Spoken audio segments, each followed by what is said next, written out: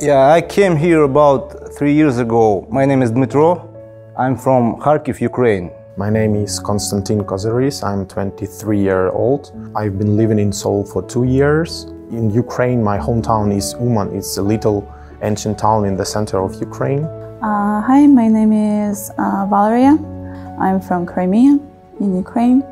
Here in Korea, I already almost five years, and now I'm a PhD student researcher. Yes. Hi, my name is Olga Shastakova, uh, and I'm from Lviv, Ukraine. It's uh, one of the biggest city in cities in western Ukraine.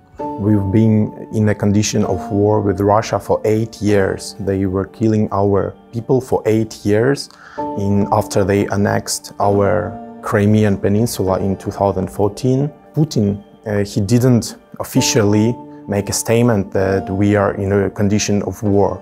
He was just supporting the Donetsk and Luhansk, Luhansk region with soldiers and with weapons.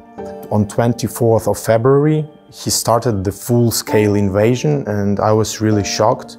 I just checked the news. That was in Korean time, that was during lunchtime. And in Ukrainian, it was around 4.30 uh, in the morning.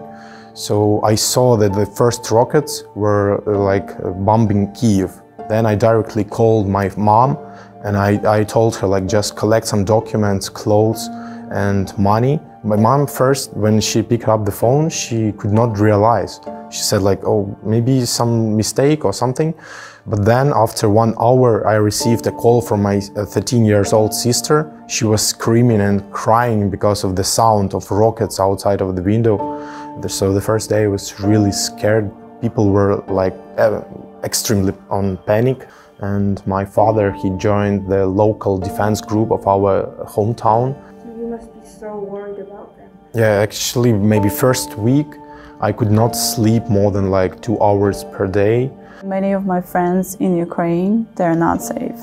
Some even cannot go there to the underground because it's already full just in the house, hoping that it's going to be okay.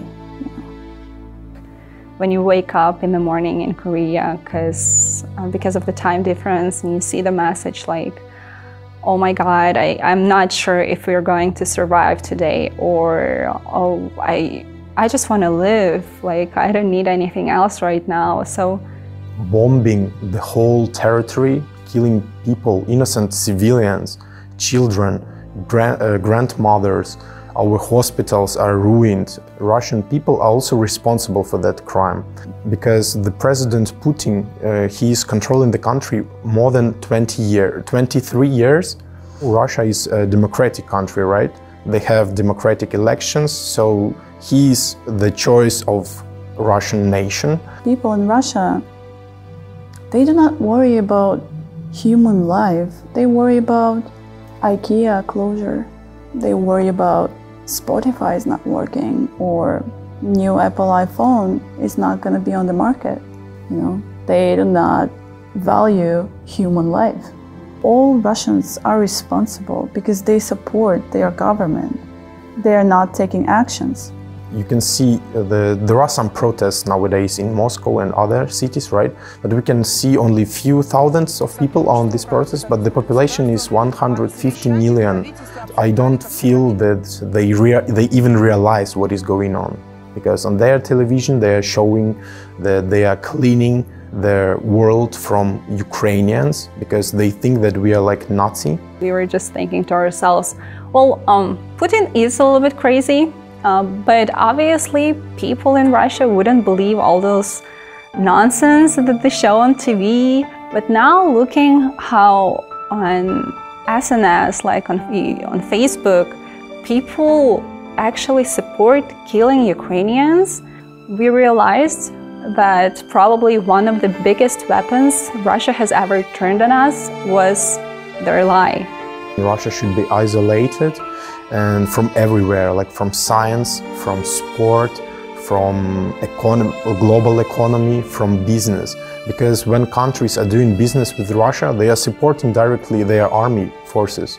Ukrainian army is very, very small in comparison to Russian army. So, no matter how brave we are, in addition to sanctions, of course, Ukraine right now needs military support. Koreans already doing a lot for uh, Ukraine, and I see all this support here, immediate support. So I'm very proud to be Korean descendant, and Ukrainians like standing strong right now and showing the exceptional courage to the whole world. And I just hope that the whole world, and Korea is a part of this world, will show the same courage uh, in fighting aggressor and helping Ukraine. I even saw one sold one YouTuber from Korea. He also joined the military, and I saw their videos. They are, they are saying that they cannot just sit at home when they see that children, innocent children, are dying. I'm very thankful to all the countries and all the people who support sanctions. And just, I hope they remember that we will not never forget it. We'll be truly thankful for, for the rest of our lives. So their parents will tell them that one day uh, our country did a terrible crime to our neighbor. We killed lots of children, lots of civilians, we just destroyed their cities. That's why nowadays we are paying the price for that and in future we should not repeat something like that.